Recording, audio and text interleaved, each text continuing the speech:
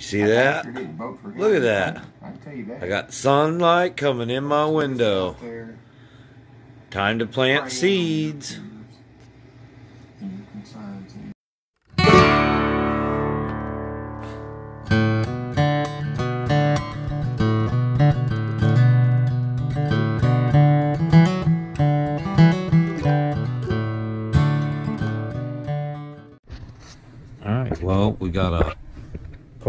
Box here.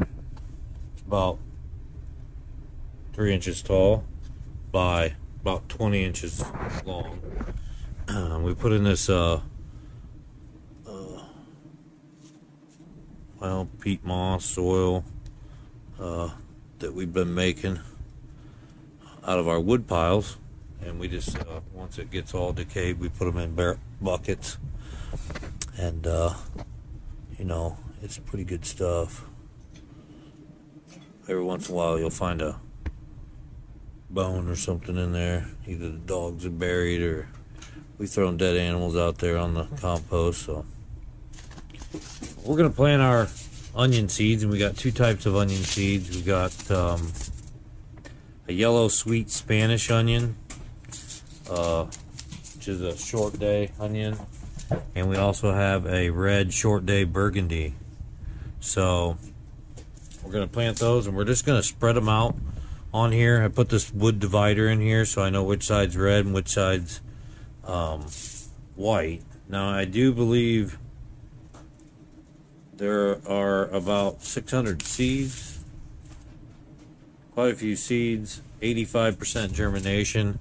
Uh, but we're just going to let them bunch up in here till they get about, I don't know, eight or nine inches, and then we're going to transplant them outside.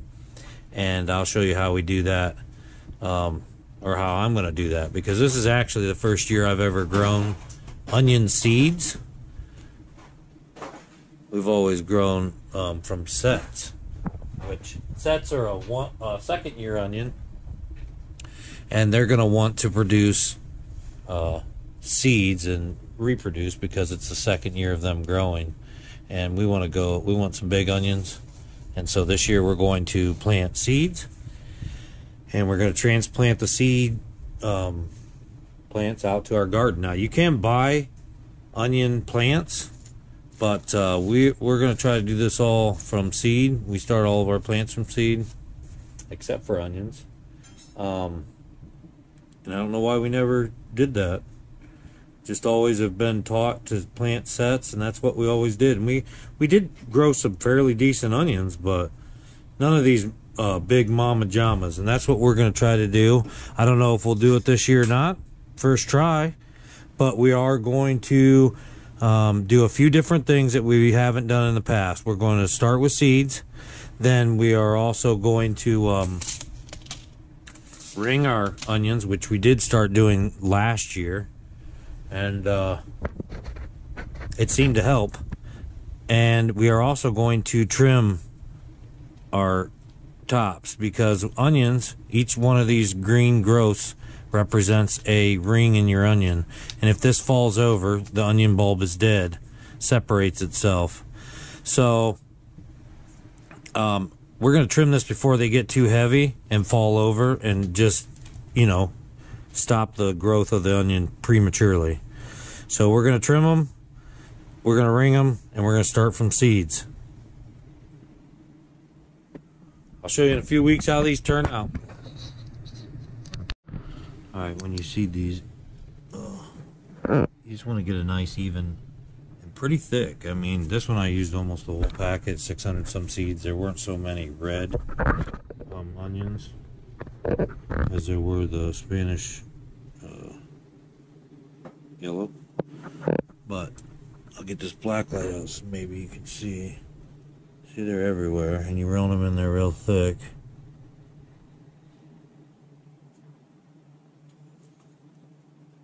So all those little dots, those are seeds.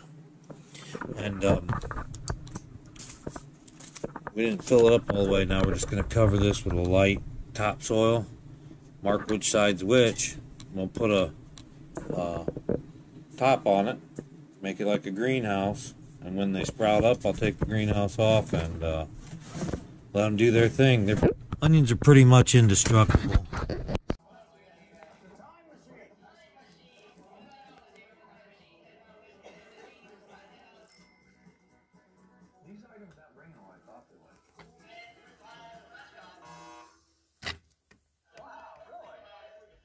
Bucks a piece. Yeah, you couldn't get five I guess so. Today was a wash. I made lunch money, I made gas money, but if I wanna really make money, I'm gonna have to find something that's undervalued, and I'm gonna have to buy it and resell it. I haven't found the right thing. While Bruce battles his demons, Mitchell's biting stuff. So that's early on uh, cabbage. I put three plants in each. And it looks like two of those are up. One or two of those are up. And I got uh, purple cauliflower started here. Onion seeds are supposed to be here today and tomorrow. Um, so that purple cauliflower is what I got from uh, the Dickerson seeds from Arkansas Woodcutter. He got them before the 31st, 2020. They were packed for 2020. They should still be good. We'll see. Uh, I just planted this today, so we'll see how long it takes for that to come up. Purple cauliflower. We like our cauliflower. This says it has uh, fairly large blooms. Uh, some of the blooms are up to a pound, so that sounds really good. Uh, I have three seeds in there. If they all come up, I'll separate them. And uh, All I want is the eighty dollars, and we certainly. be a start to, Certainly can do the cake. and then I'll plant some more if I, however many I think I may need. So we we do plant cauliflower every year, but I think I only plant two or three plants. So I'll see what kind of space I have for it, and uh, we'll go from there. As you can see now, our cabbage is up.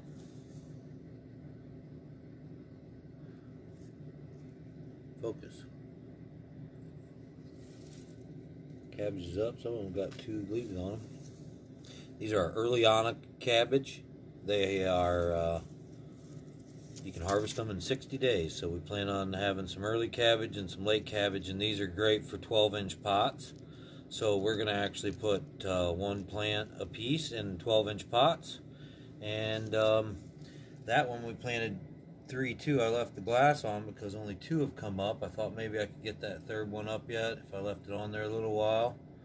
But these came up in just a couple days um, because they are a fast growing plant. So we should be able to get uh, 12 heads of cabbage, uh, six, well, five it looks like, um, early, and then uh, some more late. So we'll know what we need late. But uh, pretty excited. Never grew the Earlianas. We usually gr- grow Dutch late, which we will again later this year. But these Earlianas are looking to be very promising.